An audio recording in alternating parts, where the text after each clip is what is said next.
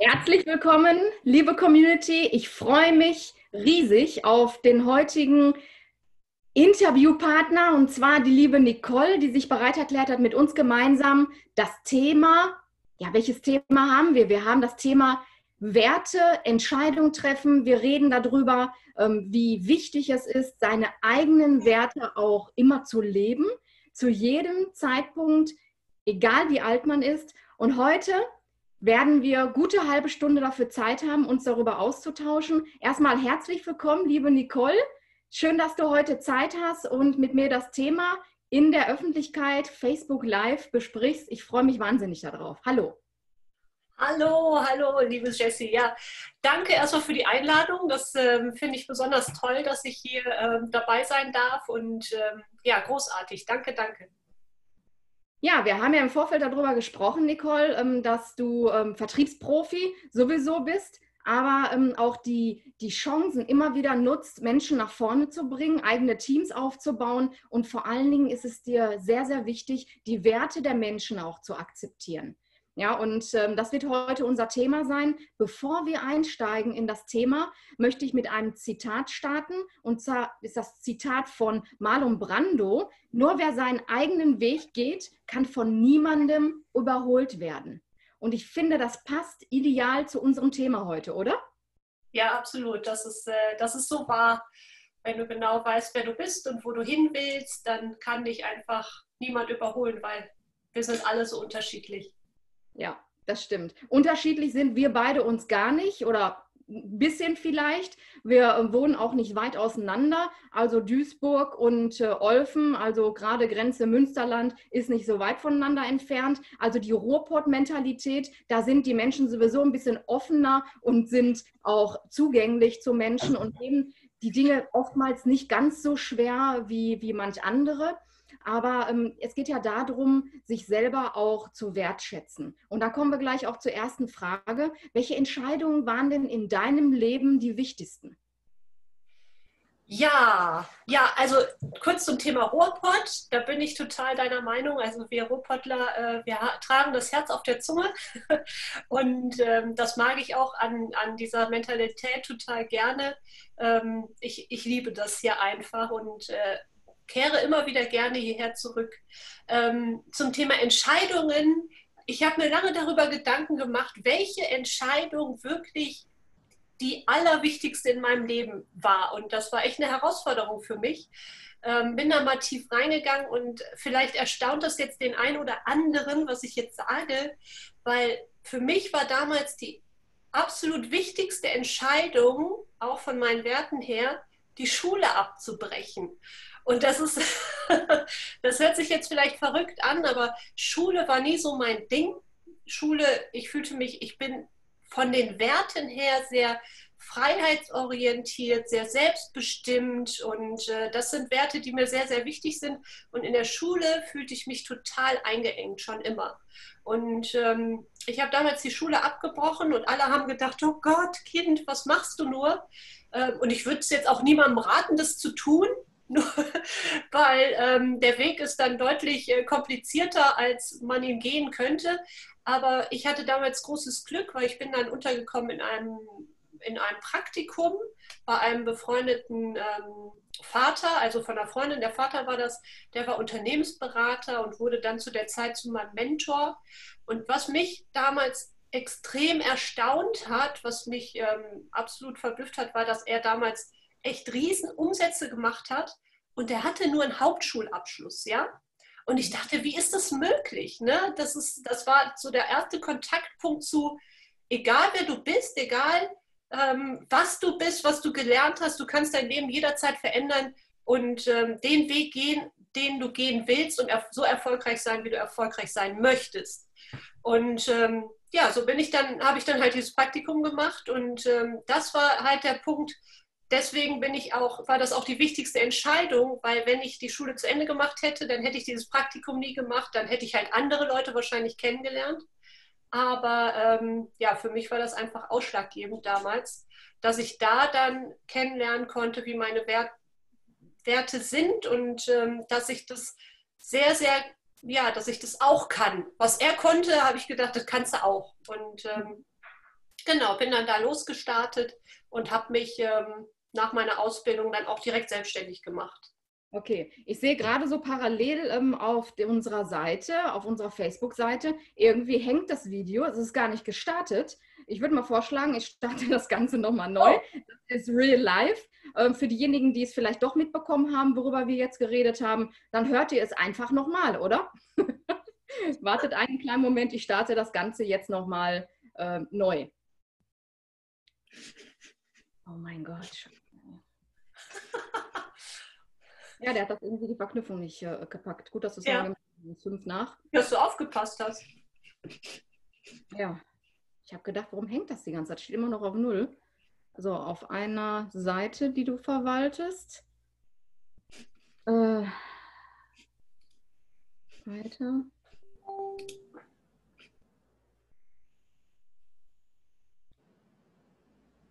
Mhm.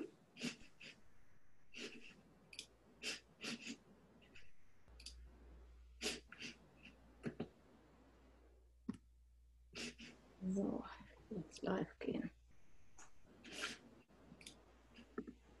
Okay. Ja? Ja, da steht Facebook live jetzt. Herzlich willkommen nochmal, liebe Community.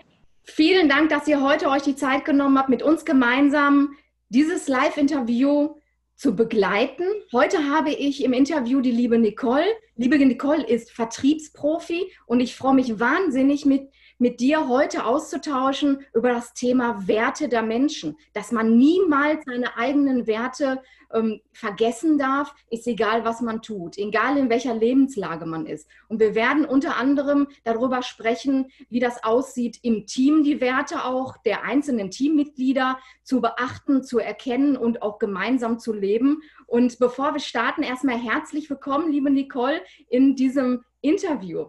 Vielen Dank, dass du heute dabei bist. Ja, hi Jessie, hi liebe Leute, alle, die zuschauen. Lieben, lieben Dank, dass ich heute hier sein darf. Ähm, das freut mich natürlich besonders, dass äh, du mich dazu eingeladen hast. Lieben Dank. Ja, vielen Dank. Ähm, wie gesagt, dass du dir die Zeit genommen hast. Bevor wir jetzt mit dem ersten Thema starten, möchte ich mit einem Zitat äh, das Ganze beginnen. Und zwar ist das ein Zitat von Marlon Brando. Nur wer seinen eigenen Weg geht, kann von niemandem überholt werden. Und ich finde, das passt ideal heute zu dem Thema, dem Thema Werte und auf, darauf zu achten, dass man sich selber nicht vergisst. Liebe Nicole, wir sind ja beide ähm, aus dem Ruhrpott, also gar nicht so weit voneinander entfernt. Unsere Mentalität ist ähnlich und wir ähm, leben das Leben manchmal ein bisschen offener, ein bisschen lockerer, zugänglicher zu anderen Menschen und äh, wir nehmen oft die Dinge nicht ganz so ernst. Ähm, wie ist es bei dir? Nicole. Also Ruhrpott äh, durch und durch, oder? Hundertprozentig, ja. Wir, wir, tragen unser Herz hier auf der Zunge und ähm, ja, die Menschen hier sind einfach großartig. Man merkt auch, dass viele, viele Nationalitäten, viele Mentalitäten aufeinanderstoßen und äh, dadurch sind wir einfach viel, viel offener als ähm, ja, man, manche anderen deutschen Gebiete, sag ich mal. Aber so, so, hat jeder seine eigene Mentalität und ich bin sehr, sehr froh, dass ich hier äh, aufwachsen und leben darf. Mhm. Sehr schön. Äh, Nicole, bevor wir jetzt äh, mit unseren Themen starten, ähm, was war denn der Beweggrund, warum du dich überhaupt für dieses Interview mit mir gemeinsam entschieden hast? Ach, das war aber nicht abgesprochen. Völlig, ich finde das einfach grandios, was du da machst. Ne? Also diesen Mehrwert den Menschen geben äh, über verschiedene Leute. Und ich habe ähm, hab halt, hatte halt das Gefühl, dass ich da den Leuten wirklich was mitgeben kann, weil äh, mich das damals äh, sehr bewegt hat, als ich herausgefunden habe, wie, wie bewegt mich was. Und ähm, ja, da habe ich eigentlich einfach gedacht, dass, ähm, ja, dass ich einfach mal mit dir spreche, ob wir da was zusammen starten können, weil ne, dass, ähm, ja, dass die Leute da einfach was für sich mitnehmen können. Und ich glaube, dass ich da ein bisschen was beizutragen habe oder beitragen kann. Genau. Es geht ja immer darum, einen Mehrwert zu liefern. So, und der Mehrwert ist jetzt in dem Moment der Community, die Personen, die hier live zuschauen, aber auch die, die sich das Video im Nachgang ähm, auf der äh, Internetseite anschauen, im Facebook. Es bleibt ja gespeichert für diejenigen, die vielleicht jetzt nur Kurzzeit haben oder vielleicht noch gar nicht dabei sein konnten. Und äh, starten wir doch einfach mal mit der ersten Frage. Du hast viele Entscheidungen in deinem Leben getroffen. Nicole, was war denn die wichtigste Entscheidung, die du getroffen hast? Ja, gerne. Also dieses Thema Entscheidungen oder die wichtigste Entscheidung, als du mir diese Frage gestellt hast, das hat mich echt ein bisschen beschäftigt. Ähm, und ich bin da mal so richtig reingegangen und habe gedacht, puh, das ist aber eine große Herausforderung, diese Entscheidung wirklich festzumachen. Und habe äh, lange überlegt, und habe dann aber wirklich ähm, festgestellt, dass die wichtigste Entscheidung, und das kommt vielleicht dem einen oder anderen ein bisschen ungewöhnlich vor oder verrückt, ähm, war damals tatsächlich, dass ich meine Schule abgebrochen habe. Also ich bin bis zur 12. Schule gegangen und habe aber gemerkt, dadurch, dass meine Werte ähm, Freiheit und Selbstbestimmung sind, sehr, sehr ausgeprägt, dass das gar nicht mehr, das, das passte überhaupt nicht mehr zusammen. Ich äh, fand das alles sehr sinnfrei. Also ich würde jetzt niemandem raten, jetzt die Schule abzubrechen, weil wer weiß was. Aber für mich war das einfach eine total richtige Entscheidung, weil ich dadurch, ähm, ja, meinen weiteren Weg wurde da, damit quasi gelegt, weil ich ähm, dann diese Zeit genutzt habe, um ein Praktikum bei einem, äh, bei, bei, bei einem Vater von einer Freundin zu machen. Der war Unternehmensberater und ähm, der wurde dann auch zu meinem Mentor und der war, hatte damals tatsächlich nur einen Hauptschulabschluss. Ja? Ich war auf dem Gymnasium und so weiter und ich habe gedacht, wie, wie ist das möglich, dass jemand mit so einem Abschluss ähm, so viel Geld verdienen kann und so erfolgreich sein kann. Und in dem Moment wurde mir einfach klar, dass jeder, wirklich jeder, das Potenzial hat, wenn er nur will, den Erfolg anzustreben und ähm, ja, erfolgreich zu werden, wenn, wenn es einen gewissen Antrieb gibt und äh, wenn, wenn, das, ähm, ja, wenn das einfach passt.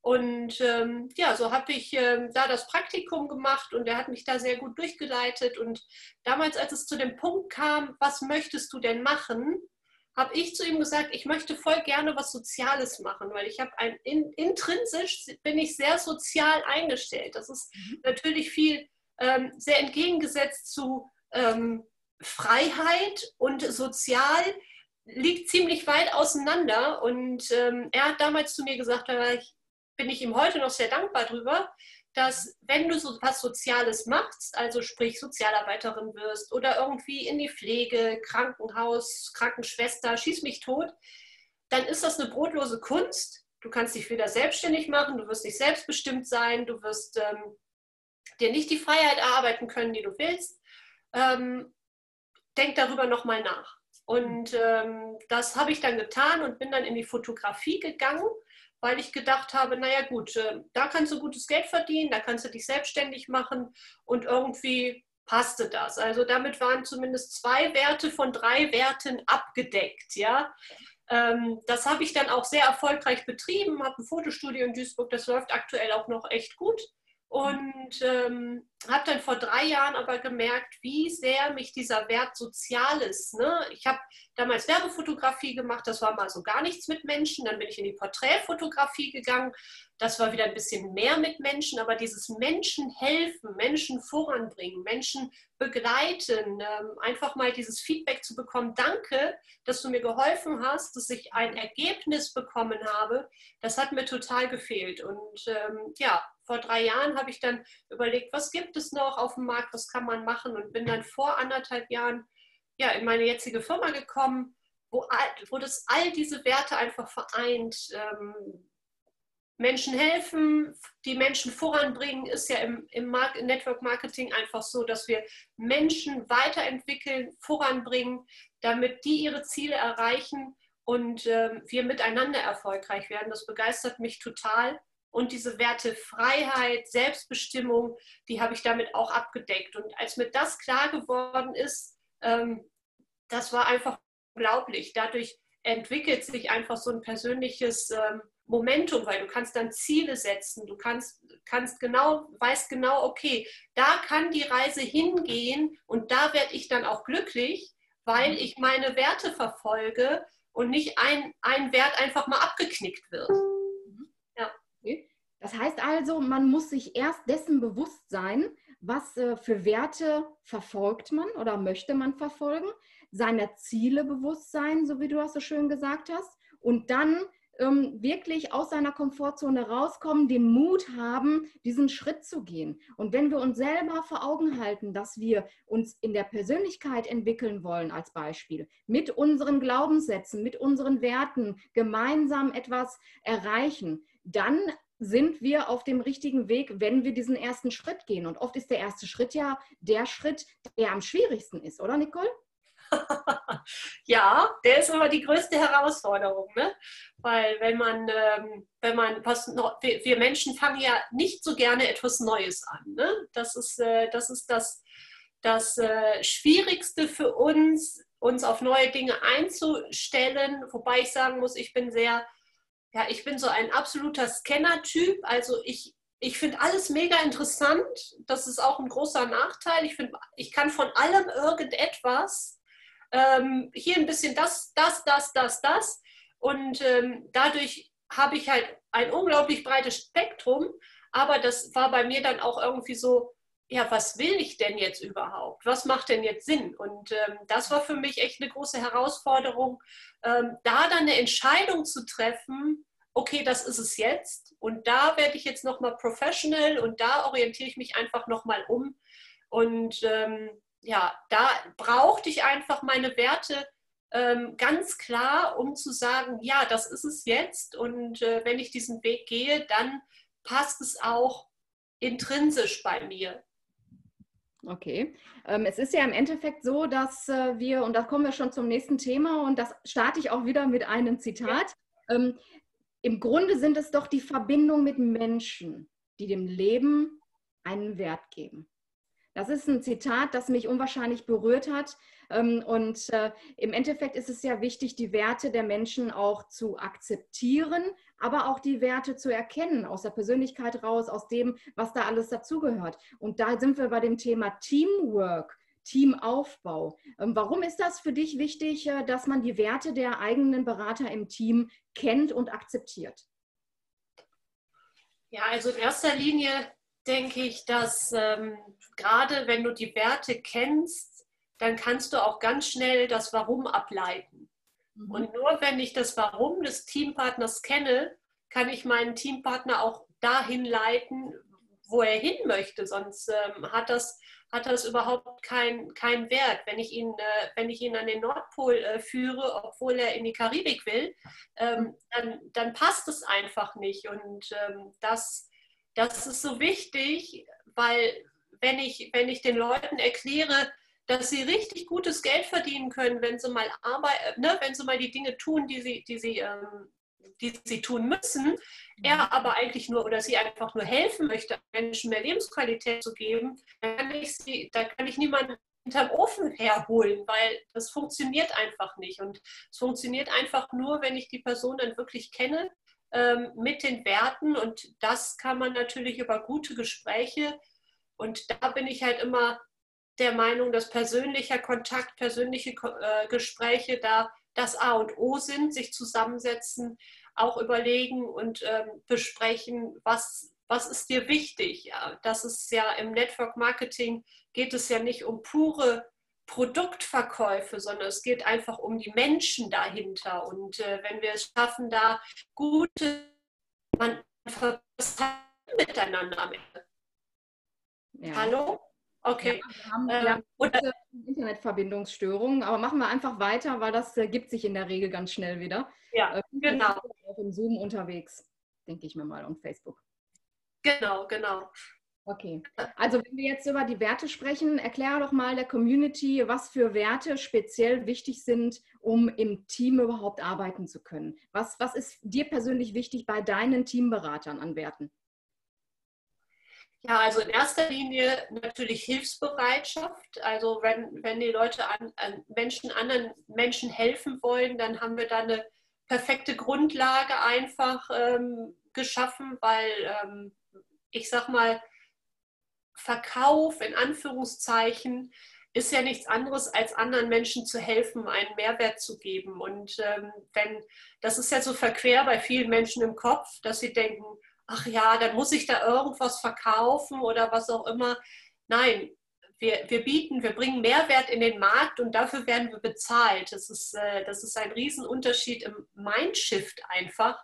Mhm. Ähm, und ähm, da ist das Thema Helfen natürlich extrem wichtig, weil ähm, wenn ich anderen Menschen helfen möchte, dann, ähm, dann passt das auch insgesamt mit dem Thema Verkauf. Ne? weil man den Leuten das beibringen kann, dass es nicht Verkauf ist, sondern wir helfen den Menschen. Also das ist für mich so, so ein ganz wichtiger Faktor ähm, und ähm, vor allen Dingen auch, ähm, ich sag mal, dass ähm, ja, das, das Thema Selbstbestimmung an sich finde ich immer wichtig, weil wenn die Leute diesen Wert nicht, nicht leben, dann ähm, sind sie selten motiviert dazu, etwas, ähm, etwas für sich zu erreichen. Also da, und da gibt es natürlich noch ganz viele andere Werte, die, ähm, die man einbringen kann. Aber das sind für mich so zwei Hauptwerte, ähm, für mich ja auch, auch im Team, wo ich sagen muss, okay,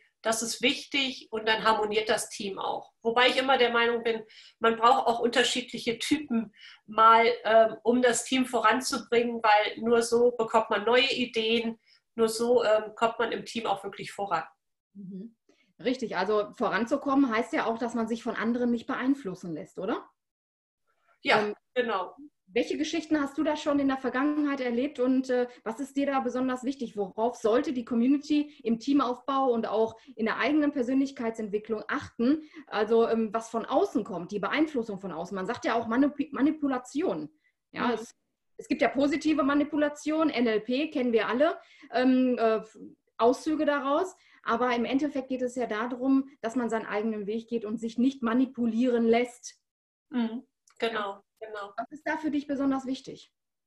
Also ganz ehrlich ist da das aller, aller, aller Wichtigste, dass die Menschen genau wissen, wohin sie wollen, dass sie wieder Träume haben, dass sie wieder Wünsche haben und wissen, wo will ich hin. Weil wenn das stimmt, dann hält dich niemand mehr auf. Dann weißt du genau, das funktioniert. Und ich bleibe dran und ich bleibe dran und ich bleibe dran und da kann der Nachbar noch mal zehnmal sagen, das ist alles Käse und das ist äh, ein Schneeballsystem oder ein Pyramidensystem oder ähm, keine Ahnung, äh, verkaufen ist Kacke. Ähm, da haben wir ja gerade schon drüber geredet. Mhm.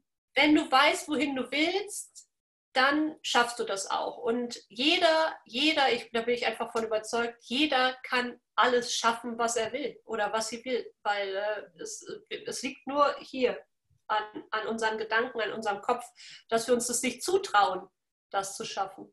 Ja, das ist ja immer so im Leben, ähm, wir ziehen die Menschen an, die zu einem passen, die zu uns passen. Äh, oft ist es ja interessant, gerade im Network Marketing, die Personen anzusprechen und ins Team zu holen, die ganz andere Persönlichkeitstypen sind.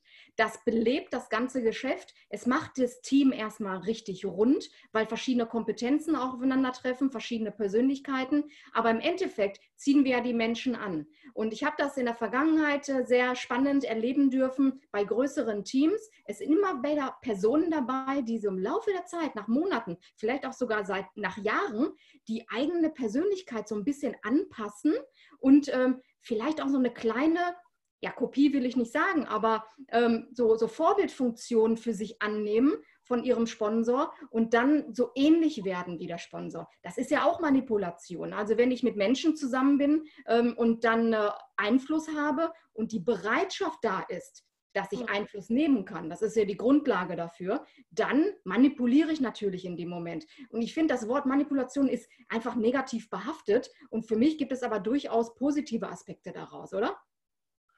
Ja, total. Also es ist ja, es ist ja auch Führungsarbeit, ne, die da ähm, hintersteckt. Und ähm, ich glaube, jeder, ähm, jeder möchte ja ein entspannteres und glücklicheres Leben führen. Und ähm, da ähm, sind wir dann wieder bei Menschen, die den Erfolg haben, den man haben möchte, den man selbst haben möchte. Und äh, da orientiere ich mich natürlich an Personen, die da sind, wo ich hin möchte und lerne von denen. Und ich sage mal, äh, Modeling of Excellence in Anführungszeichen gibt es ja nicht erst seit gestern, ne? ähm, da wirklich zu sagen, okay, das funktioniert bei ihm oder bei ihr, ähm, das probiere ich mal ganz ähnlich. Ähm, gestern noch bei einer Teampartnerin erlebt, ähm, die, also das ist einfach total cool und es hat auch funktioniert. Und ähm, das, das ist, ähm, wir suchen uns ja den Erfolg. Und da geht es gar nicht darum, dass, äh, dass es ein Abklatsch der eigenen Person wird, sondern es geht darum, erfolgreiche Methoden zu nehmen und auf sich selbst anzuwenden, die dann vielleicht im Wording ähnlich sind, die vielleicht auch in, in der Tonalität ähnlich sind, aber trotzdem musst du deine eigene Persönlichkeit bleiben. Ähm, und ähm, so, so dass man parallel läuft, aber ähm, wirklich nicht, ähm, nicht zu einer Person wird, weil das ist dann nicht mehr authentisch. Mhm. Genau, das Thema authentisch sein ist natürlich ein sehr wichtiges Thema. Gut, dass du das sagst, äh, Nicole. Also im Endeffekt geht es darum, Menschen mit Ecken und Kanten sind uns am liebsten, oder? Ja. wir können davon profitieren, wir lernen jeden Tag dazu und es ist ja ganz einfach auch so, dass die Menschen, die bei uns in, äh, im Team sind, beziehungsweise mit uns in Verbindung sind, ähm, da uns bereichern. Also jeder Mensch bringt ja etwas mit und wir können immer voneinander lernen. Ähm, kommen wir zum nächsten Thema und zwar ähm, möchte ich das auch wieder starten für, mit einem Zitat. Ich mache mir immer wieder Vorwürfe, dass meine Malerei nicht wert ist, was sie kostet. Das hat Vincent van Gogh gesagt. Und, und das ist doch äh, ein ganz, ganz äh, interessanter Punkt. Eine so Berühmtheit mit so einem Zitat. Also das geht bei mir runter wie Öl, ja. weil im Endeffekt geht es doch darum, dass wir alle, wir alle darauf vertrauen, was wir wert sind. Und äh, die Werte ähm, einfach und die Regeln, die wir für uns aufgestellt haben, diese auch leben. Warum ist das wichtig, eigene Regeln zu haben, Nicole? Weil ich davon überzeugt bin, wenn man sich eigene Regeln setzt und sich daran hält, das mhm. fängt mit Arbeitsmethodiken an, die man über den Tag macht, und sich diese Versprechen immer wieder selbst einlöst, dass man dann einfach eine absolute innerliche Wertsteigerung fühlt. Mhm. Also wenn ich mir immer etwas selber verspreche und dann halte ich es nicht ein, dann fühle ich mich am Ende des Tages schlecht. Und deswegen sage ich immer, arbeitet lieber mit kleinen Happen, dass du sagst, heute mache ich eine Sache. Mhm. So, und am Ende des Tages hast du die erledigt. Es kommt ja hier nicht darauf an, wie schnell und wie viel du pro Tag machst, sondern wirklich, dass du täglich ein bisschen daran arbeitest äh, für den Erfolg. Das ist so das Prinzip der Minimalkonstanz, wo ich sage, das, das bringt dich viel, viel weiter, als wenn du einen Tag ganz viel machst und am nächsten Tag oder die nächsten drei Wochen nichts mehr, weil dann kommst du total aus dem Tritt. Und ähm, deswegen auch da für jeden immer täglich die Chance nutzen, eine Kleinigkeit zu tun, um am Ende des Tages stolz ins Bett zu gehen und zu sagen, ja, ich habe heute wieder eine Kleinigkeit gemacht, weil es gibt einfach viele Menschen, die nebenberuflich sind ne? und da ähm, passt es auch zeitlich oft nicht, mehr zu machen und das ist auch völlig in Ordnung. Ähm, aber dass man wirklich sagt, okay, ich mache zumindest einen Kontakt, ich mache zumindest eine Ansprache, ich mache zumindest einen Erfahrungsbericht äh, bei ähm, Tante Olga, was weiß ich, ähm, damit, ich, äh, damit ich da einfach an meinem Selbstwert arbeite, weil ich merke dann, ich bin das wert, weil ich tue es ja. Also das ist einfach eine eigene Selbstwertsteigerung. Ja, das ist ja schön. Ich liebe diese Wortspiele. Selbstwert. Sich selbst wert sein oder die Wertschätzung ja. an sich selber, sich selbst wertschätzen, also das schätzen, was man selbst hat. Also ja. im Endeffekt ähm, ist das immer wieder schön, sich selbst auch zu lieben. Ja, also, Nicole, das ist ja, ähm, du gehst also positiv ins Bett und klopfst dir quasi auf die eigene Schulter.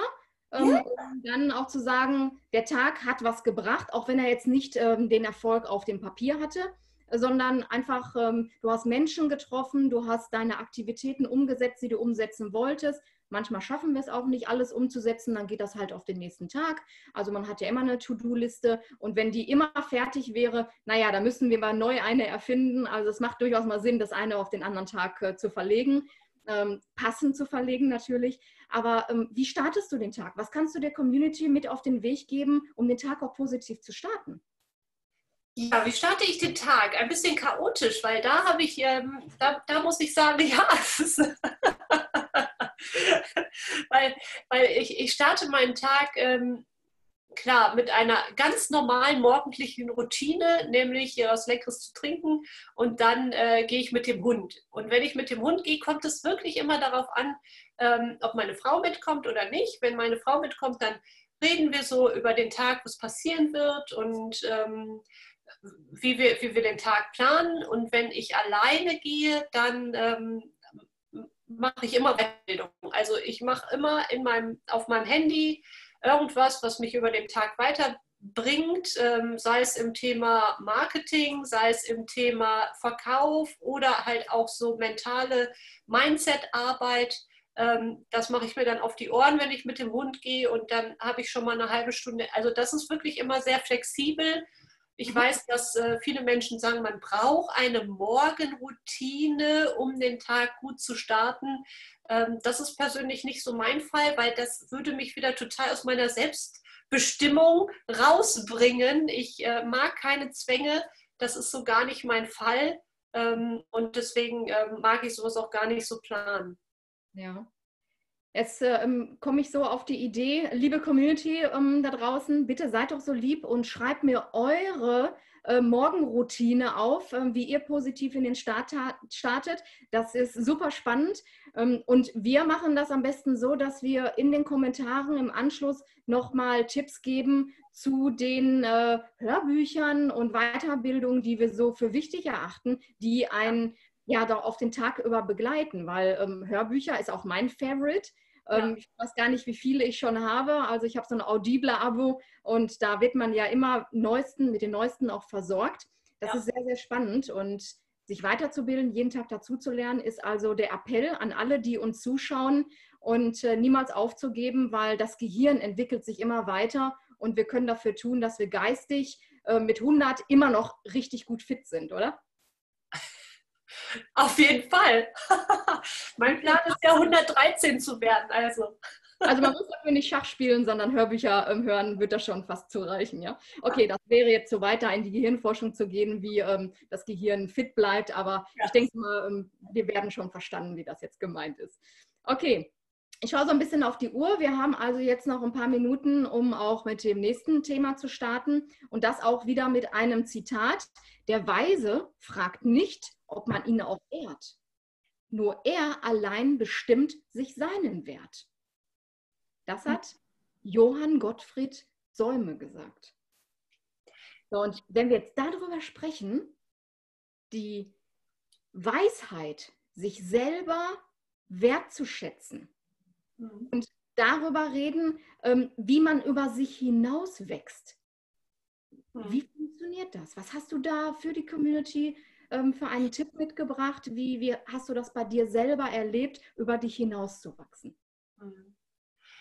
Also da möchte ich euch äh, gerne mal so eine kurze Geschichte erzählen, denn äh, gerade zum Thema Selbstwert hatte ich immer Riesenprobleme. Riesenprobleme, weil ich immer das Gefühl hatte, nicht genug zu sein.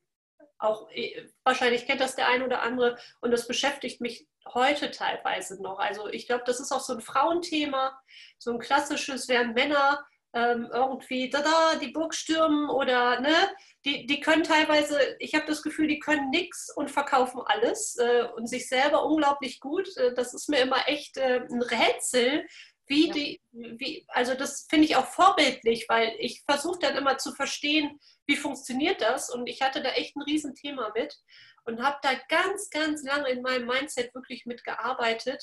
Ähm, da tatsächlich noch im Bereich Fotografie, weil ich mich absolut immer unterm Wert verkauft hatte.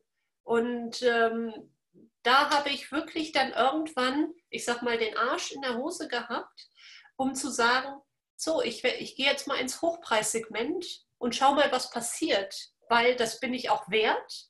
Und ähm, das ähm, erspart einem jede Menge Arbeit, weil wenn ich einen Job mache im Hochpreissegment, dann ähm, mache ich im Gegensatz zum Mittelpreissegment vielleicht fünf Jobs. Da kannst du schon sehen, was für eine Zeitersparnis man hat, wenn man nur einen Job macht und den einfach qualitativ hochwertiger umsetzen kann.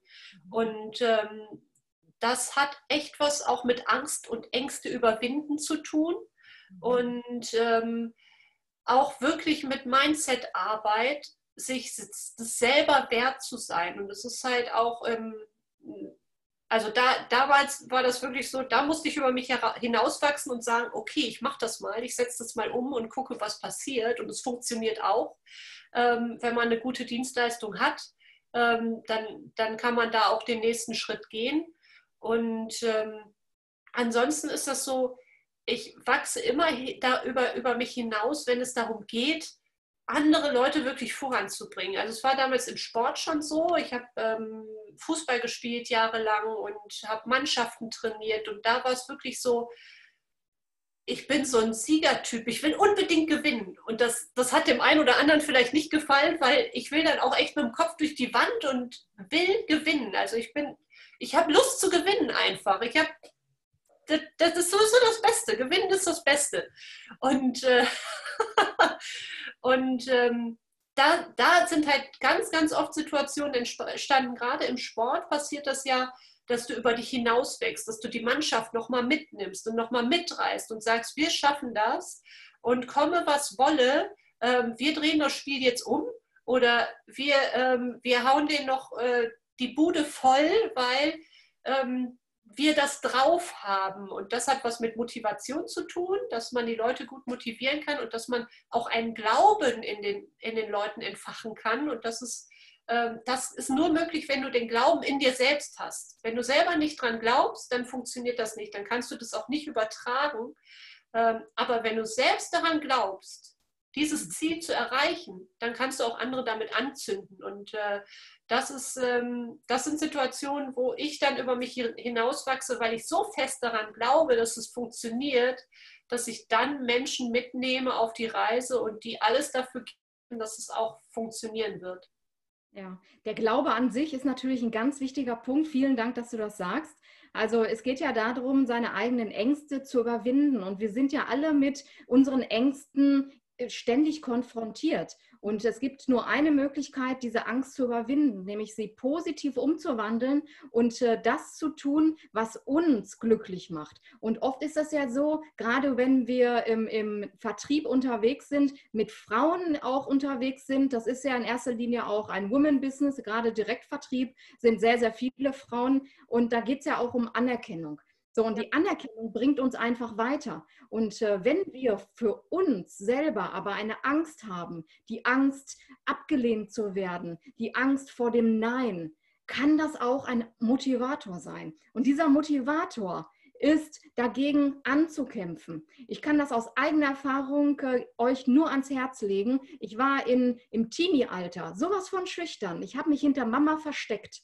Und dann gab es die ersten Öffentlichkeitsaktionen, ähm, wo ich vor Hunderten von Menschen ähm, Orgel spielen musste und habe dann äh, schweißgebadet. Ich habe nichts mehr gespürt. Ich konnte auch vorher nicht essen. Ich war wie, ähm, ja, motorisiert, sage ich mal. Ich weiß auch gar nicht mehr, ähm, was drumherum alles passiert ist, aber ich habe es durchgezogen. Und das Woche für Woche über einen längeren Zeitraum, nämlich acht Jahre lang, jedes Wochenende. Und ihr könnt euch vorstellen, dass dadurch die Schüchternheit abgebaut wird. Also regelmäßig daran arbeiten, aus seinen Ängsten heraus das Beste zu machen, diese Glaubenssätze, die wir mitbekommen haben, das schaffst du nicht oder das ist nichts für dich, einfach beiseite zu stellen, wenn ihr wisst, was ihr wollt, wo ihr hin wollt, macht euch ein Vision Board oder ist egal, wie ihr es aufsetzt, seid euch bewusst, wo die Reise hingeht und ihr werdet es schaffen. Und das ist ein ganz wichtiger Punkt. Vielen, vielen Dank, Nicole, für dieses Announcement, für, für das, was du uns nochmal an Gedanken gebracht hast zu diesem Thema. Ich finde das sehr, sehr spannend und ich glaube, wir haben da einige Menschen mit erreicht, oder? Ich hoffe, ich fand deinen Abschluss jetzt auch grandios. Echt eine geile Story und wie du es toll. Dankeschön.